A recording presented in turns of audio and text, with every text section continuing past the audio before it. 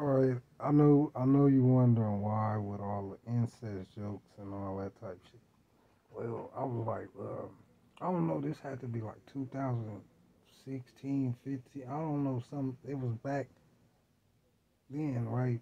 I'm watching it like it's like a movie that had just came out. It was a white people movie and shit, and they had incest in the movie. Like it was like a, a new movie that came out and I noticed that they was putting, you know, incest in, all, in these movies and shit. You feel me? It was like crazy shit, like, like uh, I think it was like a brother sister relationship. Like the she brought her uh husband to the to the uh family, but she was fucking her brother and shit. It was crazy ass shit. Like, you know what I'm saying? Like it's illegal, but y'all putting it in movies, so I just thought I exploited a little bit.